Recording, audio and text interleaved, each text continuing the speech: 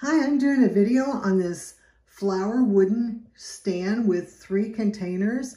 They're cute little round containers that you can use for a propagation station to start plants. That's what I've done here. I've started some little plants that I hope to make into bigger plants.